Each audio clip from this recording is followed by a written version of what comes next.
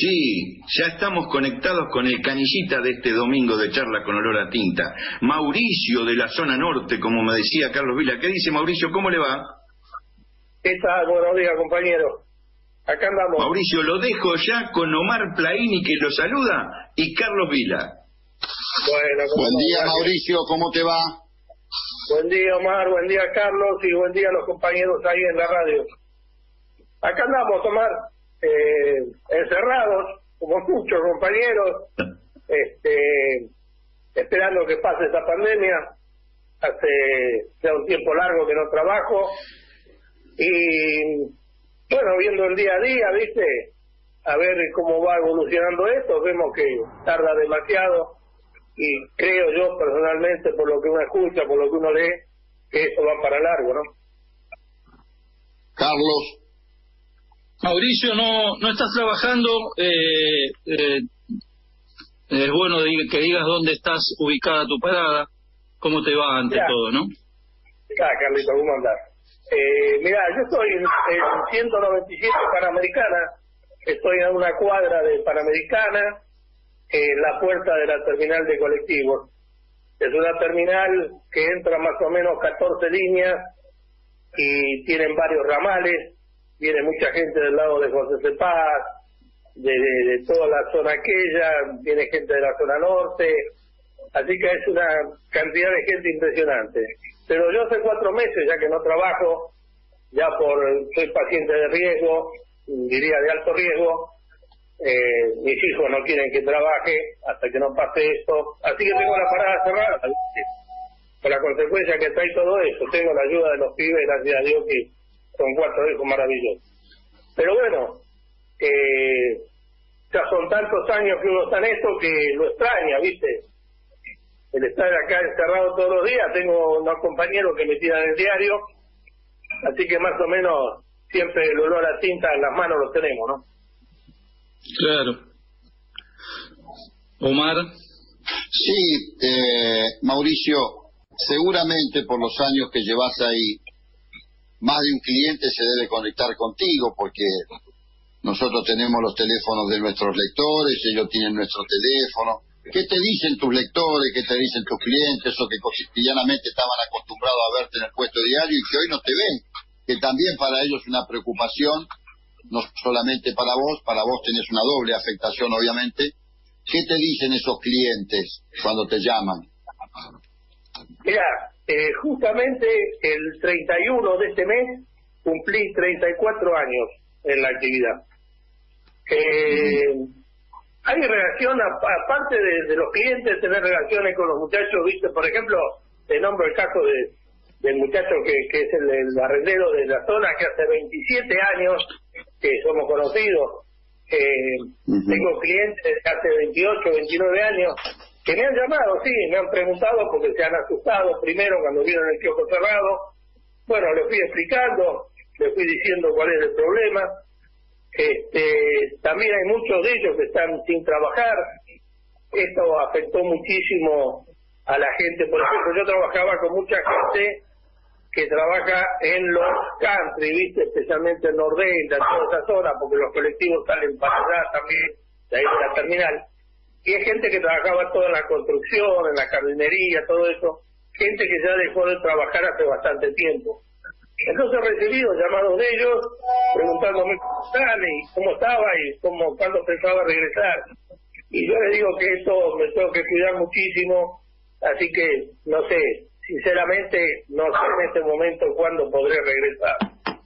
Pero sentís el aliento de los compañeros eh, de los clientes, los compañeros hay muchos que me han llamado, yo soy como referencia acá en la zona, entonces hay mucha cantidad de compañeros que me han llamado y preguntado por, por mi estado, ¿no? A ver cómo andaba. Mauricio, decide a los oyentes, porque yo sé que tengo unos mal pensados acá como Carlos Vila y algunos más, que el perro que vos tenés no tiene nada que ver con el mío, porque estamos a 100 kilómetros, porque ya están mandando un mensaje por el perro.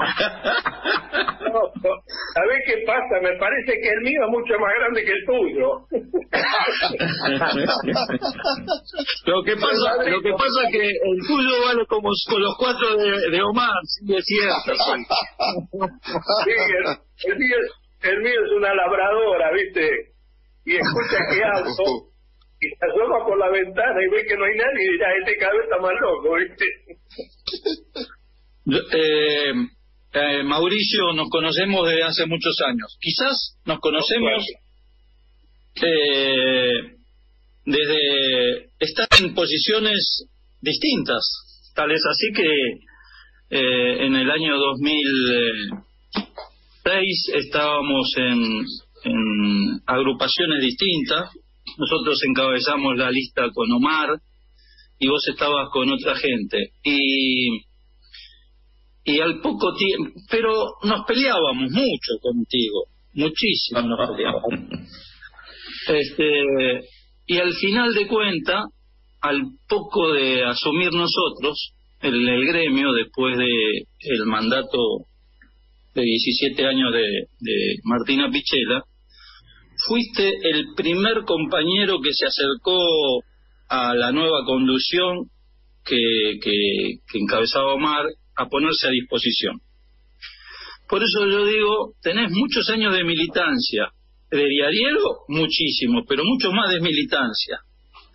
Y la verdad que ese momento de que viniste, eh, abrimos la puerta porque nosotros decíamos que solamente la avenida este, que nos iba a hacer reconquistar eh, lo, perdido era a través de la unidad de los compañeros. Y quiero que hables un poquito de aquella época. Mira, Carlos, eh, yo tenía unas discusiones muy fuertes con mi viejo, porque mi viejo quería que yo estudie y yo eh, quería laburar. Entonces, eh, las peleas eran continuas, yo estaba estudiando, iba a la mañana, hasta que un día tuvimos una agarrada fuerte con el viejo y yo le decía que iba a dejar el colegio porque yo quería laburar. Entonces eh, mi viejo habló con mi abuelo, eh, que era el suegro de él, mi abuelo era despachante de aduana, tenía muchos contactos, y bueno, habló con él, le dijo lo que pasaba, y Mauricio a los cuatro días estaba trabajando. Pero dijo mi viejo, cosa que le agradezco toda la vida, dijo, vos querés trabajar, bueno, vas a ir a trabajar pero vas a seguir estudiando de noche. Entonces empecé a trabajar en aquella época, te estoy hablando del año 65, vos eh, trabajabas con permiso de tu viejo, eh, firmado ante el ministerio, y entrabas como aprendiz. Entré como aprendiz en una fábrica metalúrgica muy grande hoy en día, muy importante, de sanitarios, y eh, en la escuela nocturna, perdón, me empecé a codiar con toda gente más grande, todos muchachos más grandes, chicos más grandes, y fue una época que empezó a politizarse mucho todo. En mi caso también siempre se habló de política, de gremio, y bueno, ahí en el gremio metalúrgico empecé a militar.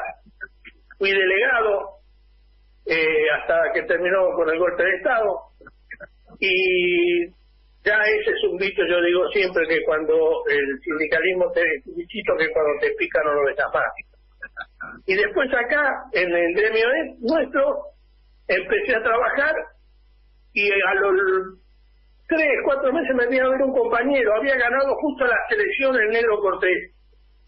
Y me vino a buscar un compañero para afiliarme, me afilio y me viene a hablar para que vaya al sindicato Voy al sindicato, conozco a Cortés, conozco a Gallego García, un viejo queridísimo como, tener, como este de todo el gremio, y a una persona que para mí me marcó mucho y me ayudó muchísimo, muchísimo, y me enseñó, que fue Tito Blander. Y bueno, con Tito empecé a trabajar en la parte de, de gremiales, y fue el que, perdón, el que me, me explicó y empezamos a trabajar acá en la zona. En la zona me, me acerco con unos muchachos que tenían una agrupación en San Fernando, que después lamentablemente se fue deshaciendo y en un momento me quedo yo solo. Eh, ahí empiezo a trabajar acá en la zona con Rubén, Rubén de Pianti, que vos lo conocés, al pelado, y empezamos a organizar toda la zona, de, a poquito, y bueno, ahí fue que ya de ahí no paré más. Y después digo, y lo digo con toda sinceridad, y vos sabés que es así, tuve la suerte de que ustedes me llamaran, me convocaran, eh, le pregunté a los compañeros de base acá qué hacíamos, me dijeron Mauricio andá, y te digo, fueron los mejores años de la militancia mía porque dimos todas las peleas que había que dar. Y la verdad es, ya te vuelvo a repetir, es lo mejor que me puede haber pasado. Mauricio, Nietzsche, te damos el saludo de acá de charlas con olor a tinta. Te despedimos, se nos termina el tiempo de esta media hora. Muchas gracias por los recuerdos y además esto de que entre los trabajadores no hay brechas que no se puedan zanjar cuando la unidad prima. Así que Mauricio, te saludamos, Carlos, Omar, y ya nos volveremos a encontrar. Bueno, Picones, un abrazo grande, gracias por la oportunidad y bueno, un abrazo fraternal para Omar y Carlitos.